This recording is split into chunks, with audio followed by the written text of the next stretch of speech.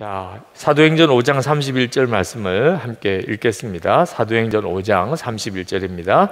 이스라엘에게 회개함과 죄 사함을 주시려고 그를 오른손으로 높이사 임금과 구주로 삼으셨느니라. 아멘. 아, 우리 해외 나가다 보면 뭐 일본, 중국, 한국 사람, 서양 사람들은 잘 구분을 못 해요. 그런데 우리들은 보면 금방 알죠. 아, 저 사람은 중국 사람이네. 저 사람은 일본 사람이네. 그 말은 그들도 우리를 보면 아유, 저 사람은 한국 사람이네. 그렇게 되는 거죠. 아, 예수 믿는 사람이 세상에서 아, 어떻게 구별될까요? 아, 우리 주변에 있는 사람들은 예수 믿는 사람의 무엇을 보고 아, 저 사람들 예수 믿는 사람이네. 에, 그럴까요? 아, 식당에서 큰 소리로 어, 식사기도 하는 거 보고 알 수도 있겠죠. 그건 정말 진정한 의미에서 우리 예수 믿는 성도들의 구별점이라고 할 수는 없을 것 같아요. 그래서 어, 정말 예수 믿는 사람은 어, 사랑이 많어. 그건 정말 귀한 일이겠죠. 예수 믿는 사람들은 죄 안 짓는 것 같아. 예수 믿는 사람들은 얼마나 기쁜지 몰라. 그건 정말 예수 믿는 사람의 표징이 돼야 하지요. 그죠? 그렇게 우리 한국 사람들에게 예수 믿는 사람이 그렇게 구별되면 좋겠습니다. 그거 보니까 예수 믿는 사람 맞네. 아, 예수 믿는 사람인 줄 알았어. 너무 기쁘니까. 또 너무 사랑이 많고. 그리고 참 의롭게 살아요. 거짓말 하지 않아요. 그렇게 되면 좋겠습니다.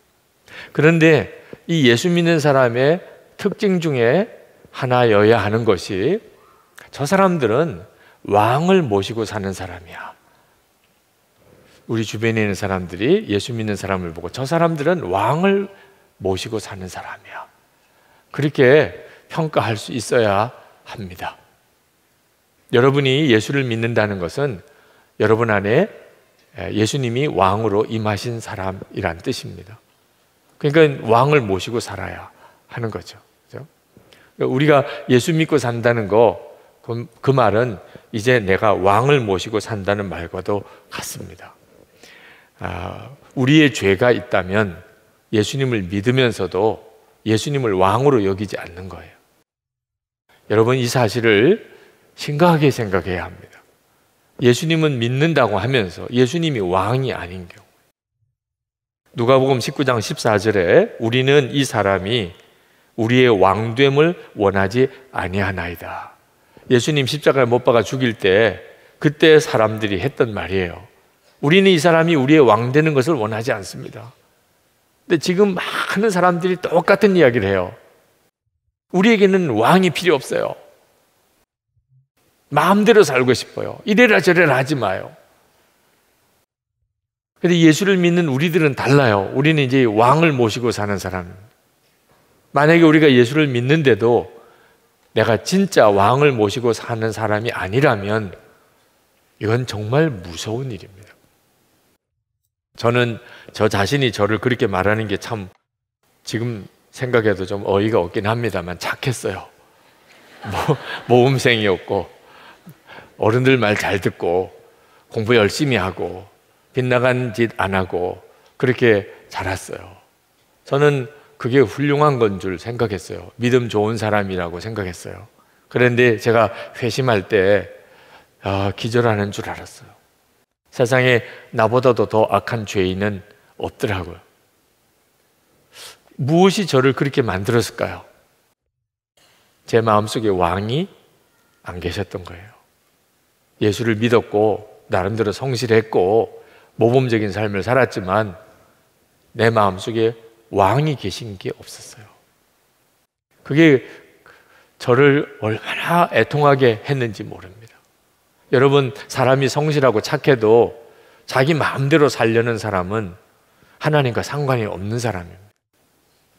그 점에 속으면 안 돼요. 아, 저 사람은 정말 믿음 좋아 보이고, 교회 생활도 열심히 하고, 그거 보고서 그 사람을 판단하기 어려워요. 저 사람에게는 진짜 왕이 있나? 그때야 그 사람이 진짜 예수 믿는 사람이에요. 성실하고 착한데 왕이 마음이 안 계신 사람은 결국 그도 거듭나야 될 사람입니다. 그리고 이 죄가 무서워요. 차라리 윤리적으로 허랑방탕한 사람은 자기가 죄인인 줄도 알지요. 성실하고 착한 사람은요, 도무지 자기가 죄인이라고 생각이 안 들어요. 남에게 싫은 소리 안 듣고, 무슨 일인지 반듯하게 했고, 그래도 내가 남 도와주며 살았고, 이런 사람이요, 훨씬 더 무서운 죄예요. 왜? 회개도 없으니까. 그런데 내 마음에 예수님이 왕은 아니에요. 그냥 뭐든지 내가 판단해서 좋은 대로, 옳은 대로 살았던 거예요. 세상적인 기준에 의하면 뭐 아무 흠이 없지요. 그렇지만 여러분, 왕의 보좌가 있는데 그 왕만 앉는 자리죠. 왕의 보좌는. 근데 거기에 누가 덜컥 앉았어요. 목 날라가는 거죠. 아, 평소에 성실한 사람이었어요. 목 날라가는 거예요. 왕의 보좌에 덜컥 앉아버리면 그건 반역죄입니다. 그렇죠? 우리가 꼭 그렇게 하고 있어요. 우리의 마음의 보조가 있는데 거기에는 왕이신 예수님이 앉으실 자리예요. 그런데 나는 그동안 내 마음대로 살았어요. 뭐 그렇다고 나쁘게 산 건 아니에요. 내가 생각하기에 옳다는 생각, 내가 바르다고 생각하는데 그렇게 살았어요. 기준은 항상 나였어요. 보좌를 찬탈한 거죠. 예수님이 앉으셔야 될 보좌에 내가 앉고 있는 거예요. 이게 반역이고 제가 회심할 때 정말 악소리 내고 꼬꾸라졌던 거. 그 얼마나 심각한지를 아셔야 합니다. 우리가 예수를 믿었다면 이제는 정말 예수님께서 왕 되신 삶을 살아야 합니다. 아무리 주일 많이 해도 주님 앞에 섰을 때 내가 너를 도무지 알지 못한다. 불법을 행하는 자들아, 내게서 떠나가라 하리라. 불법을 행한다는 말은 왕이 없다는 이야기예요. 아무리 주의 이름으로 기사와 이적이 일어나도 이제는 여러분 속으면 안 됩니다. 저 사람에게 불법이 있구나. 그러면 예수님은 왕이 아닌 사람이에요. 어떤 기적이나 뭐 사람이 가지고 있는 재능에 속으면 안 됩니다. 이제는 진짜 사람 볼 줄도 알아야 되는데 무엇보다 여러분 자신을 볼 줄 알아야 돼요. 예수님은 정말 여러분의 왕이십니까? 오늘 말씀에 이스라엘에게 회개함과 죄사함을 주시려고 그를 오른손으로 높이사 임금과 구주로 삼으셨는데 예수님은 임금이시면서 구주세요. 우리를 죄에서 구원해 주시는 분 구주시죠. 그러나 그분은 임금이세요. 왕이세요. 이 점이 함께 있어야 돼요. 나는 예수님 때문에 내 모든 죄 사함 받았습니다. 할렐루야 찬송하지만 예수님이 또 동시에 왕이셔야 돼요. 여러분, 주님과 친밀함, 동행하자. 늘 강조드리는 말씀인데 예수님과의 친밀함은 하나 더 나아가야 됩니다. 예수님의 왕되심으로 나아가야 돼요. 예수님이 나의 구주시고 내가 주님과 늘 동행하는 삶을 살기를 갈망하는 마음만 있는데 아직까지 무슨 삶의 역사와 변화가 없는 경우 예수님의 왕되심이 부족하기 때문에 그럼 오늘 이 밤에 아 어떻게 하면 예수님이 내 왕이 될 수 있을까? 어떻게 그런 삶을 살 수 있을까? 우리가 말씀을 붙들고 그리고 기도했으면 좋겠습니다. 첫 번째는 분명한 확신을 가져야 됩니다. 예수님이 나의 왕이 되어 주십시오. 내가 예수님이 왕이 된 삶을 살아야 되겠다 하기 전에 먼저 여러분에게 이루어진 하나님의 놀라운 은혜, 예수님 왕이신 주님이 내 안에 오셨다. 이게 믿어져야 돼요. 여러분이 이걸 정말 믿어야 돼요. 거기서부터 시작하는 거예요. 예수님이 나의 왕이시다. 주님은 이미 내 안에 왕으로 오셨다. 내 안에 오신 예수님은 왕이신 분이다. 이 점을 여러분이 믿음으로 취해야 그 다음 단계로 나아갑니다. 많은 분들이 예수님의 왕 되신 삶을 살지 못하는 이유는 왕이신 예수님이 마음에 이미 오셨음을 믿지 못하는 거예요. 자꾸 뭔가 체험이 올 때까지는 믿음을 뒤로 미뤄요. 아직도 난 잘 모르겠다 그래요. 뭐 모르기는 뭘 몰라요. 그렇게 보고도 말씀을 그렇게 듣고도 뭘 몰라요. 예수님이 내게 있어서 왕으로 오셨고 내 안에 왕으로 역사하시는 것이 체험되고 난 다음에 믿으려고 하면 죽을 때까지 예수님의 왕되심을 한 번도 경험 못 해요. 믿고 체험하는 겁니다. 예수님은 지금 내 안에 왕으로 오셨다. 내가 믿음으로 취하는 그 순간부터 왕이신 주님과 동행하는 삶이 실제로 체험이 되는 겁니다. 많은 분들이 예수님, 우리 집에, 우리 가정에 늘 함께 임하여 주옵소서. 응답이 거의 안 돼요. 그렇게 갈망하는데도. 왜냐하면 믿음으로 드리는 기도가 아니니까 그렇습니다. 예수님, 우리 가정에 임하여 주옵소서. 이렇게 기도하지 말고 내가 예수님의 집에 그냥 살고 있는 거예요. 이미 우리 집은 예수님의 집이에요. 주인이 바뀌었어요. 우리가 예수님을 주님, 주님 그러잖아요. 주인이 바뀌었다니까 내가 주인이 아니고 예수님이 주님이세요. 우리 집 아니에요. 자꾸 우리 집에 와달라니까는 헷갈리는 거예요. 이제는 예수님 영, 영접했는데 예수님 믿었으면 이제는 예수님 집이죠. 그 예수님의 집에서 사는 거예요.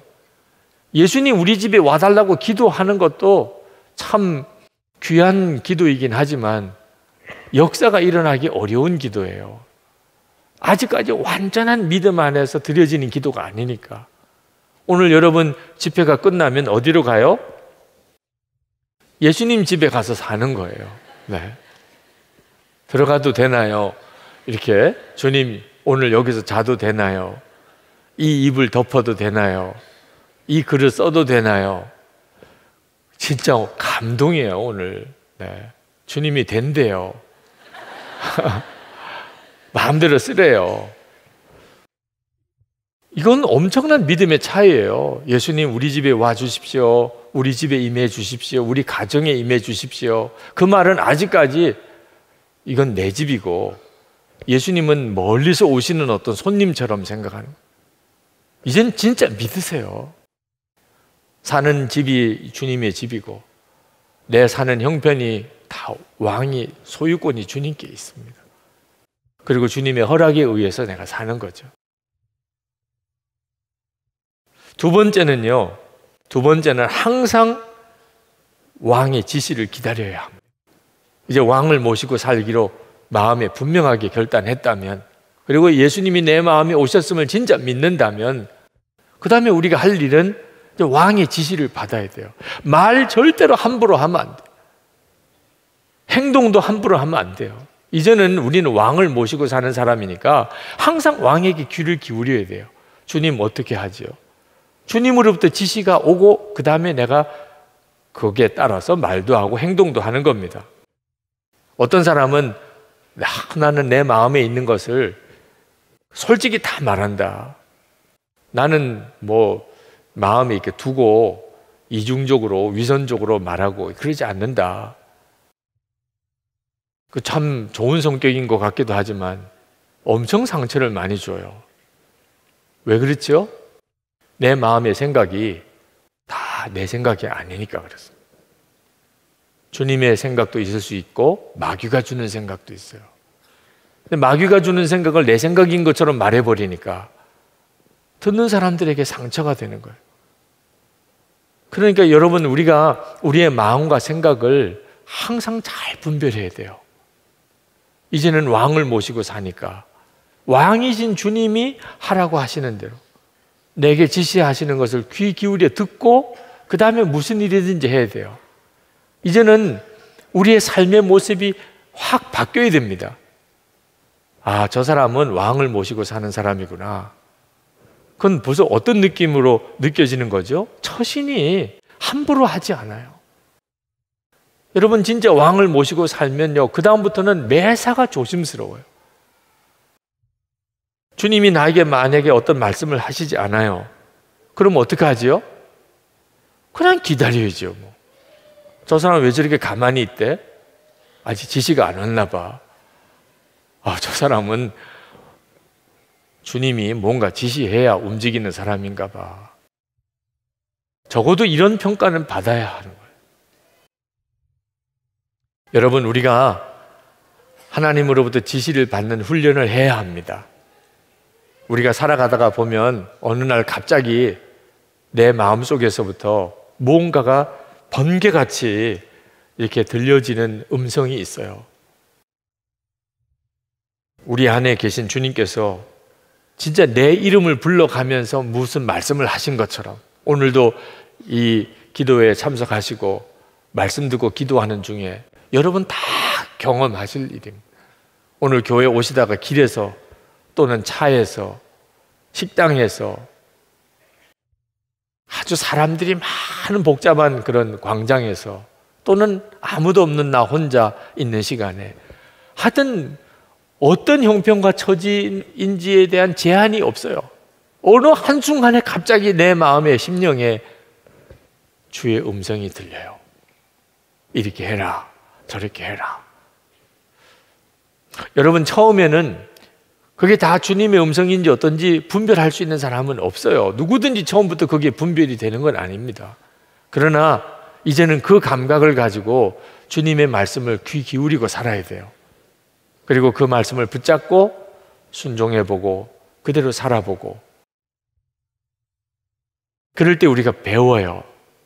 그리고 조금 그렇게 하기를 힘쓰면 그 다음에 어떤 분별이 와요. 우리가 사람의 말을 다 듣지만 늘 가까이 하는 사람의 말은 얼굴을 안 봐도 목소리만 딱 들어도 알잖아요. 그렇죠? 가족들은 그렇잖아요. 전화만 받아도 알잖아요.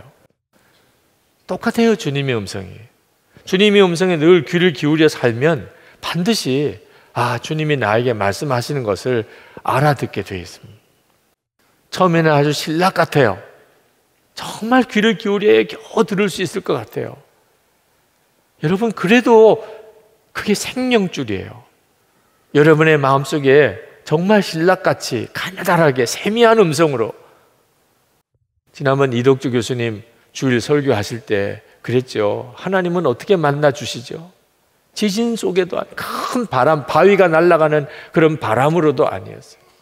불 속에서도 나타나지 않으셨어요.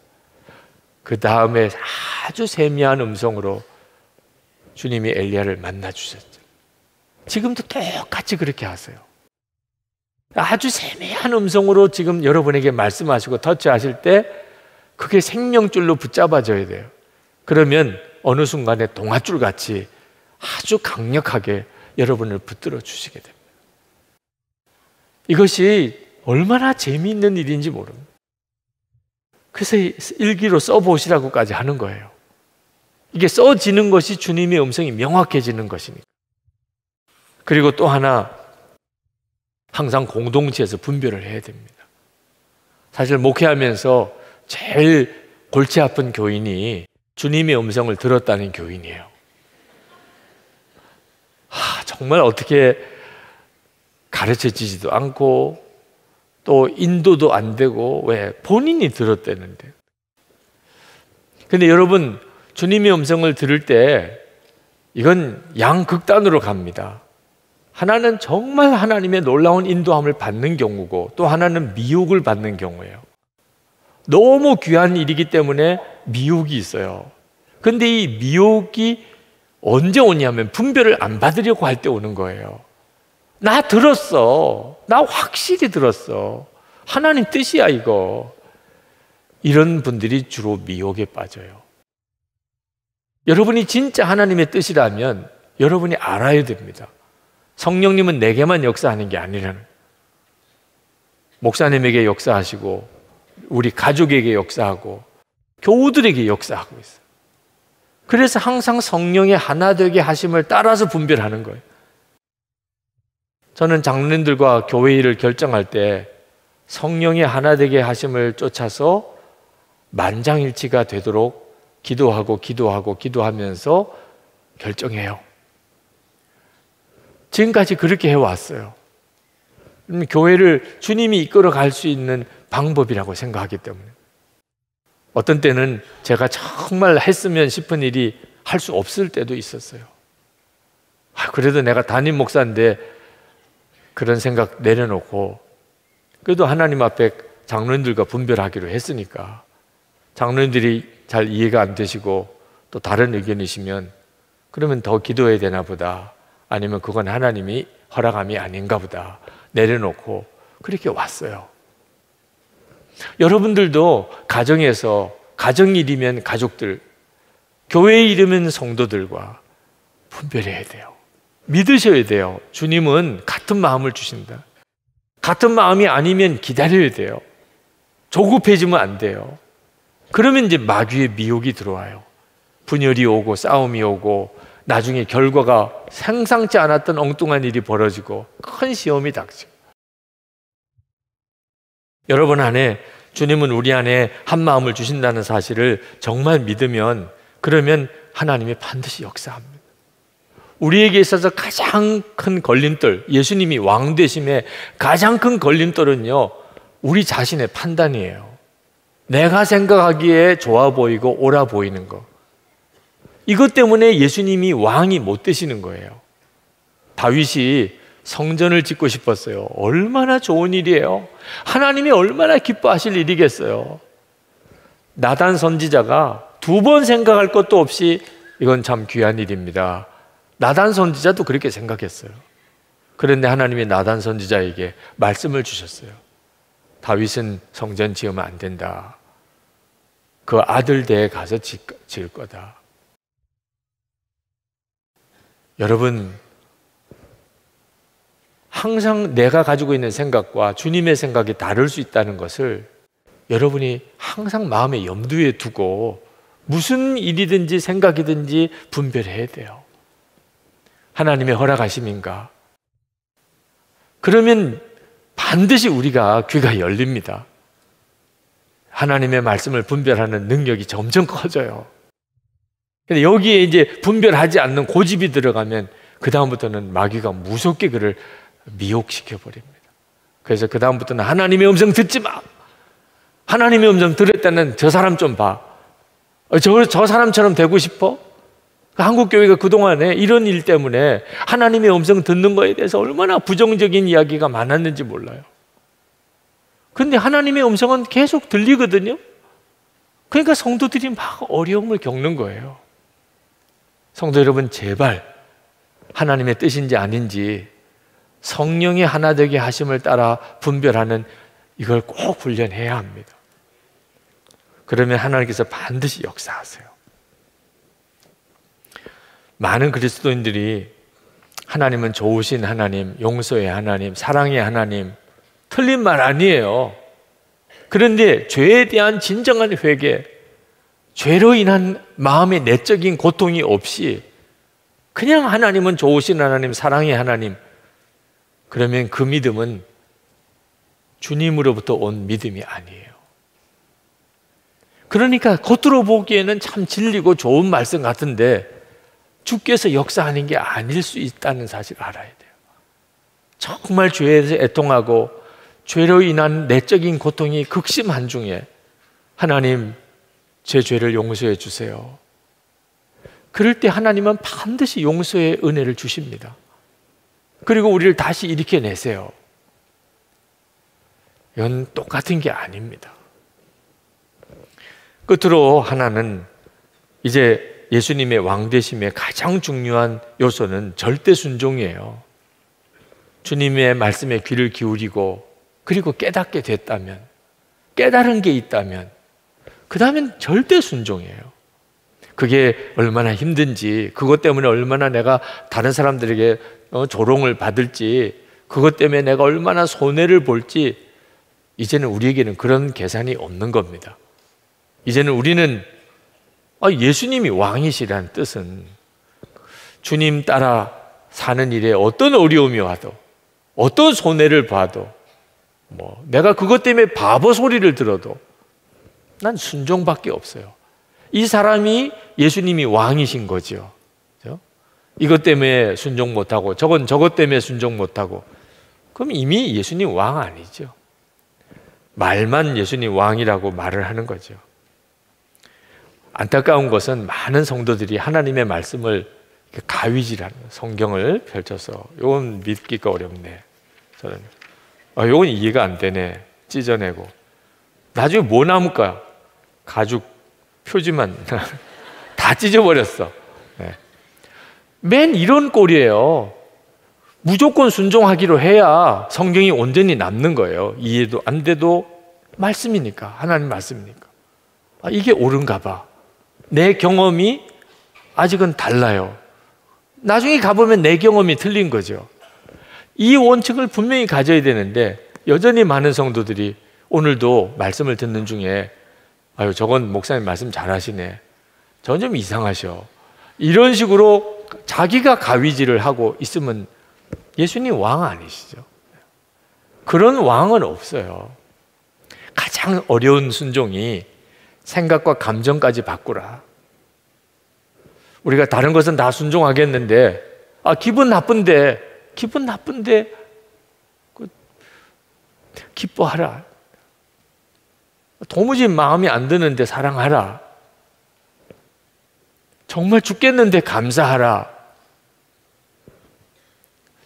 이제부터 예수님이 왕 되심에 가장 중요한 문제에 들어가 있는 겁니다.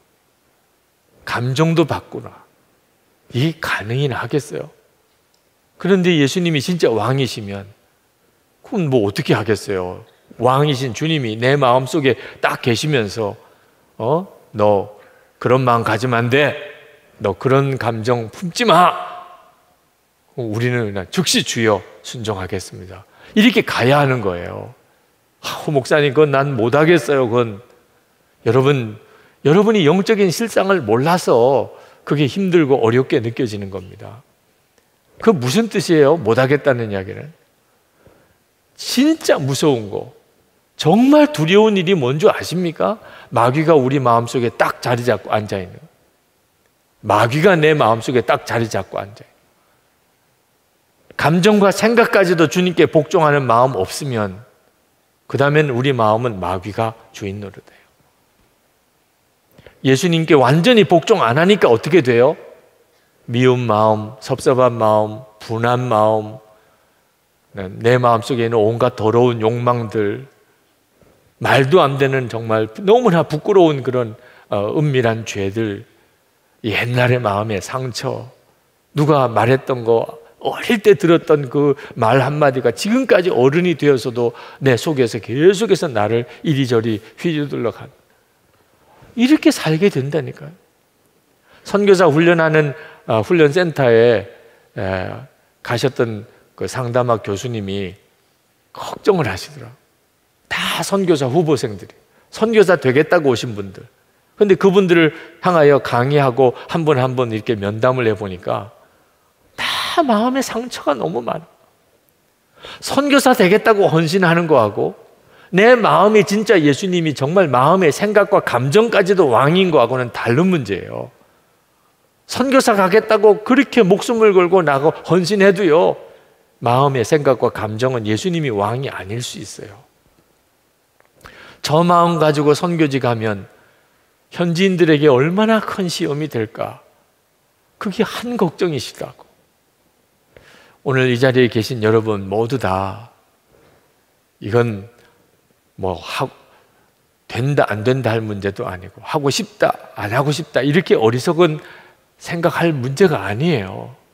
마귀가 내 속에 탁 틀어 앉아서 내 인생을 좌지우지하는 그런 삶을 살 건가? 말도 안 되죠. 예수님 내 마음의 왕으로 오신 것은 사실은 우리에게는 구원의 축복이에요. 예수님이 내 마음의 왕이 되시니까 얼마나 좋은 줄 아십니까? 비로소 예수 믿는 구원받은 자의 그 놀라운 삶을 살아가는 거예요.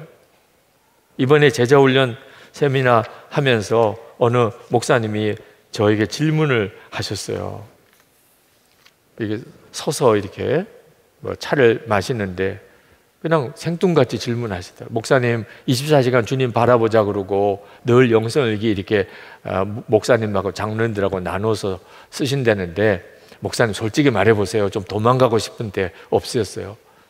아무도 안 보는데 어, 정말 목사님 진짜 하고 싶은 거 마음껏 하고 이렇게 좀 해보고 싶은 때 목사님은 없었어요? 네. 아, 제가 그 질문을 받는데 조금 처음에는 당황스럽더라고요. 근데 아, 나도 모르는 사이에 그냥 내 입에서 그냥 대답이 나와요.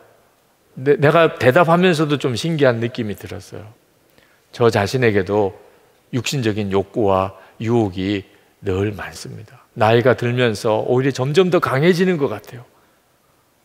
육신의 욕구와 욕망은요, 누구에게나 다 똑같고, 저도 마찬가지고, 오히려 점점 더 육신의 욕망은 더 커지는 거예요. 그런데 제가 주님을 바라보는 시간이 이렇게 길어지면서 제 마음 속에 조금도 변함이 없는 것, 그건 너무 편안하고 너무 자유롭다는 거예요. 지금 이렇게 세미나를 하는데 만약에 제가 저 혼자 조용히 있을 때는 엉뚱한 짓 하고 아무도 없는 그런 혼자만의 어떤 일탈된 행동도 하고 그런 걸 은근슬쩍 즐기고 있다면 저는 아마 이번 세미나 하는 동안 내내 심적인 고통을 겪을 겁니다. 겉으로는 말씀을 전하고 겉으로는 주님을 증거하면서 실제로는 내 삶은 그렇지 못하다면 이 세미나 자체는 단순히 육신적인 고통만 아니고 저를 심히 내적으로 고통스럽게 할 겁니다. 근데 저는 지금 마음이 너무 편안합니다. 그냥 주님 주신 은혜대로 전한 거고 그렇게 살아보는 대로 나누는 거예요. 세미나를 진행하는 일이 만만치 않은 일이지만 적어도 내 마음속에는 평안과 자유가 있습니다. 저는 이것을 다른 것과 비교할 수 없어요. 육신적인 어떤 쾌락, 뭐좀 일탈된 행동을 하고 싶은 어떤 유혹, 그것, 그것보다 주 안에서 누리는 이 평안과 자유, 이건 비교가 안 되는 겁니다. 저는 이걸 포기하고 싶지 않아요. 저는 이 삶을 잃어버리고 싶지 않아요. 저는 다른 사람들이 다 안 보는 어떤 곳에 숨어서 그렇게 들어가서 좀 편안하게 쉬고 싶은 그런 마음의 유혹이 없습니다. 주님과 더 깊이 교제하고 주님 안에 더 깊이 나아가고 싶은 갈망만 제 속에 있습니다. 저는 지금 아주 힘든 일을 억지로 목사니까 또 이게 저자니까 이렇게 세미나를 인도하는 거 아닙니다. 저는 너무나 편안하고 자유한 가운데 있습니다. 저 자신이 생각하기에도 내가 어떻게 그렇게 대답을 하고 있나 싶은 생각이 들 정도였는데 그건 제 안에서 말씀하시는 주님 같아요. 여러분, 실제로 주님과 온전히 동하여 예수님이 왕 되신 삶을 산다는 것은 놀라운 구원이에요. 마귀가 더 이상 나를 어떻게 해볼 수가 없어요. 내 마음과 생각의 깊은 곳까지 주님께서 온전히 왕 되시는 것. 이보다 더 편한 거 없어요. 이보다 더 자유로운 게 없어요. 사도 바울은 골로새서 3장 4절에서 우리의 생명이신 그리스도라고 이런 표현을 썼습니다. 우리 생명이신 그리스도께서 나타나실 그때 너희도 그와 함께 영광 중에 나타나리라. 그러니까 예수님을 생명이라고 그랬어요. 내 생명이 예수님이에요. 우리의 생명이 예수 그리스도예요. 이 말은 그저 주님과 함께 한다는 것으로만 설명하기는 참 한계가 있어요. 예수님이 내 생명이시다. 예수님이 내 안에 오셔서 예수님이 나와 늘 함께 계시다. 이것 가지고는 이 생명이라는 표현을 다 설명할 수가 없어요. 예수님은 내 생명이세요. 그걸 가장, 가장 가까이 비슷하게 우리가 무슨 뜻인지 알아들을 수 있도록 표현한 게 예수님이 왕이라는 거 예수님은 내 왕이시라. 모든 결정권은 주님이 가지고 있어요. 나는 항상 주님을 바라보고 무슨 말을 하려고 할 때도 주님 바라보고 늘 주님이 내게 말씀해 주시는 걸 의지하고 무슨 결정을 하나 해도 내가 결정 못 해요. 내겐 왕이 계시니까.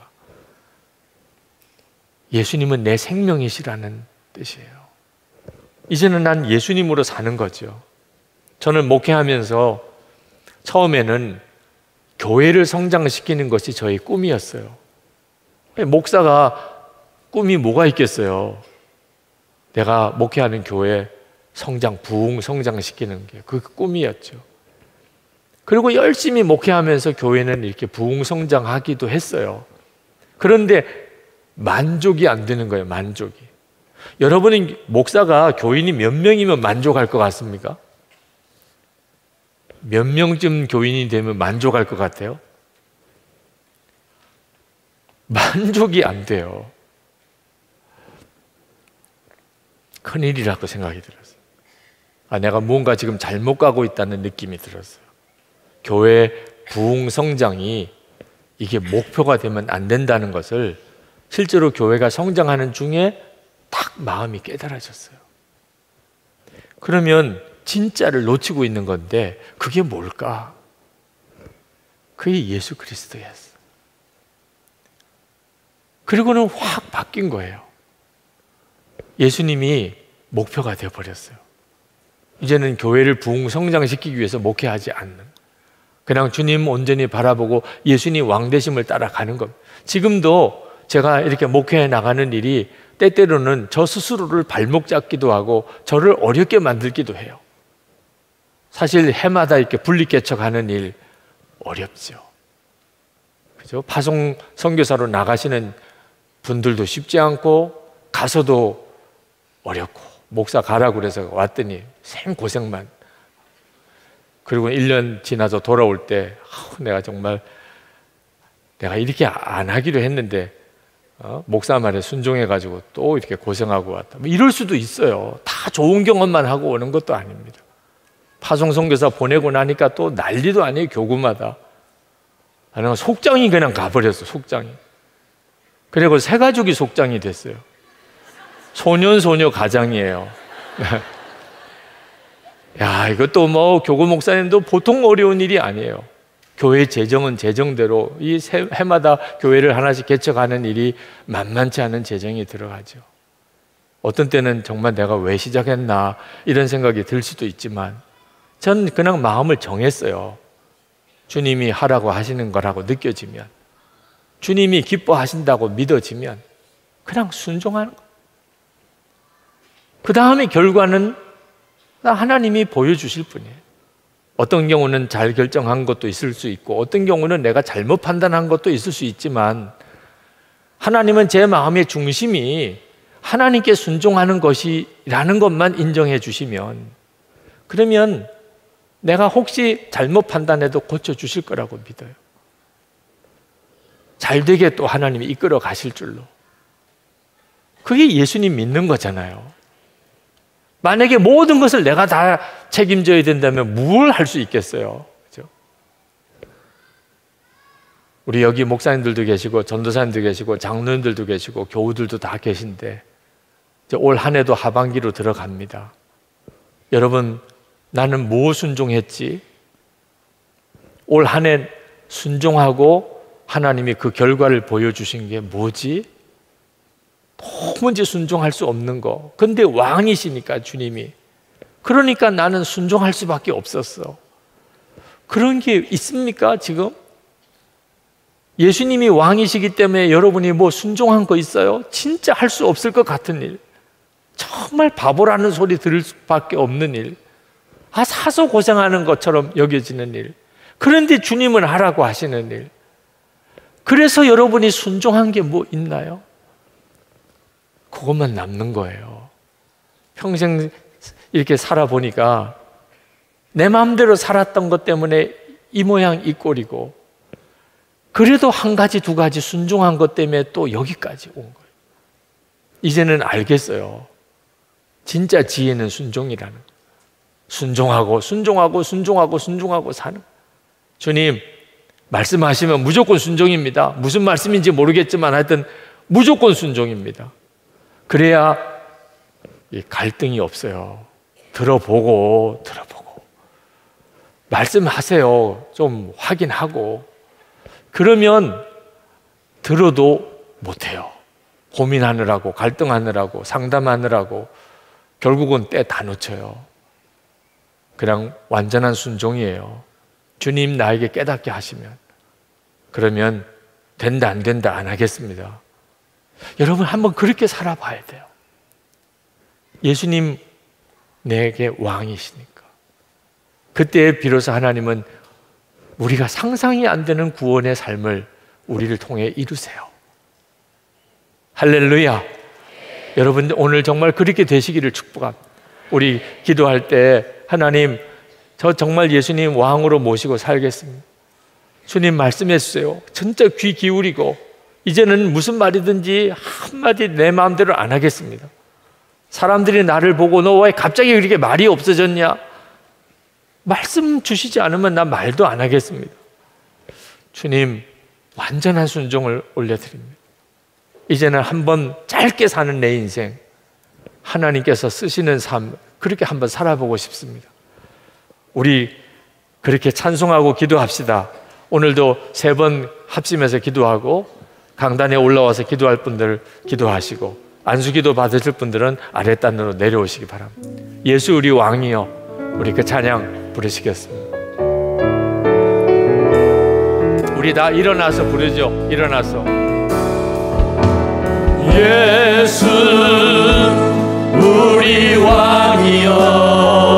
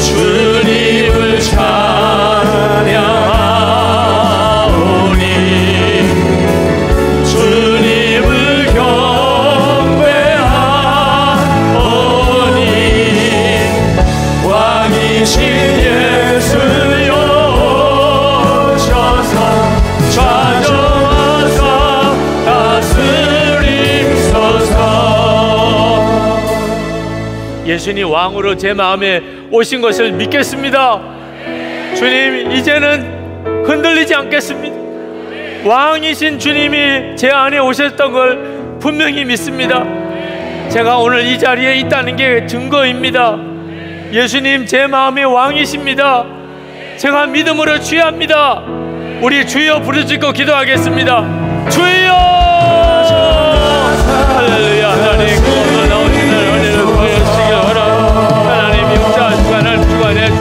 찬양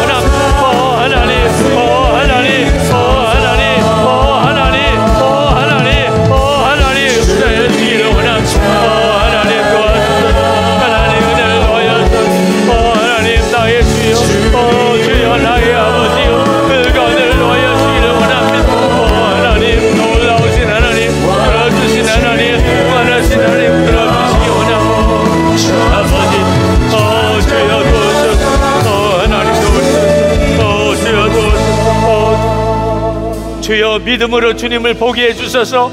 믿음으로 주의 음성을 듣게 해 주옵소서. 주여 잠잠히 잠잠히 주께 귀 기울이오니 주여 역사해 주소서. 지시하소서. 깨닫게 하소서. 주의 뜻을 알게 하소서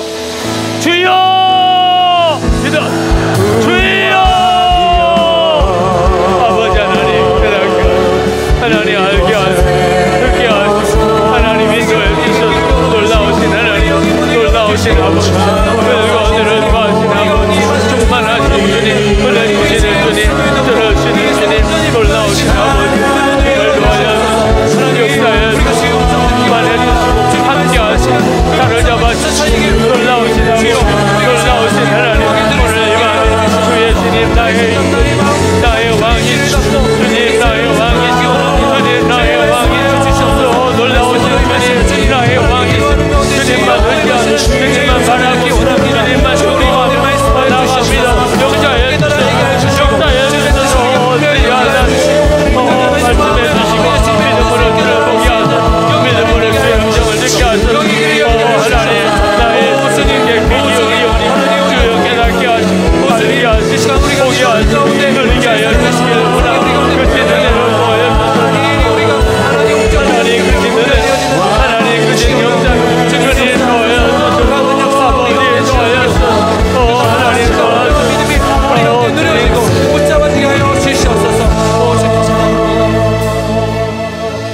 하나님 완전한 순종을 올려드립니다.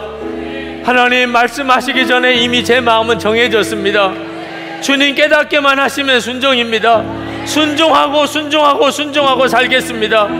힘들어도 순종하겠습니다. 손해봐도 순종하겠습니다. 주여 이끌어 주소서. 남은 생에 주님이 책임져 주소서. 우리 주여 세 번 부르시고 기도하겠습니다. 주여!